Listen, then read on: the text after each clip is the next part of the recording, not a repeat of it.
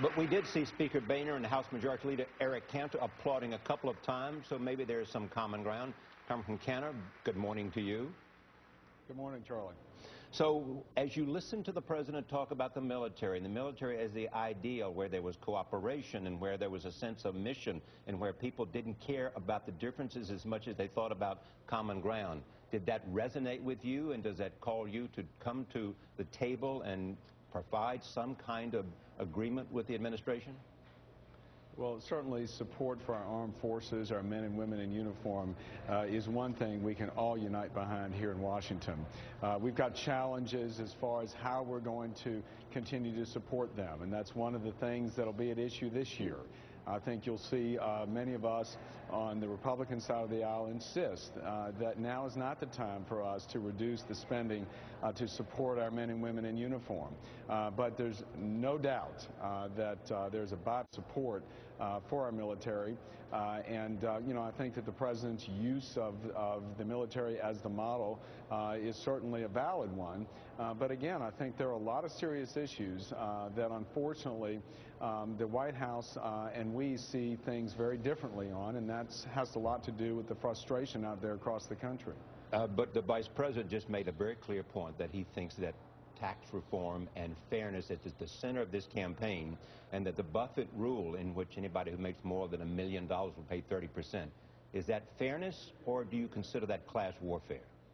Well, you know, I, the president brought uh, Warren Buffett's secretary to the uh, State of the Union last night, and, um, you know, I care about Warren Buffett's secretary. I want her to do well. I want her to do better, just as I think that everybody in this country uh, should have an opportunity uh, to achieve and pursue their dreams. But should she be and paying a higher percentage than the, Mr. Buffett should be paying? I, I don't think anyone wants to pay higher taxes. And I think the reality is the reason why Warren Buffett's secretary and so many millions of other Americans are frustrated is they see policies that have been promoted for the last three years by this White House that frankly don't work.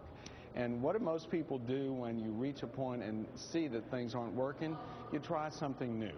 And that's what we are here trying to advocate to say, look, we've got a very bold vision uh, for this country and how to focus on a growth-oriented small business perspective. Let's get out of the mindset of saying that Washington's got to start this program and initiate some other new project uh, because that's not what America is built on. The backbone of America has to do uh, with the aspirational sense of small business in this country. That's where jobs come from. That's what people want to see. So hopefully we can come together on that simple notion that it is small business, backbone of America, and we've got to provide the, the actual vision and the policies that can allow them to start up again and grow.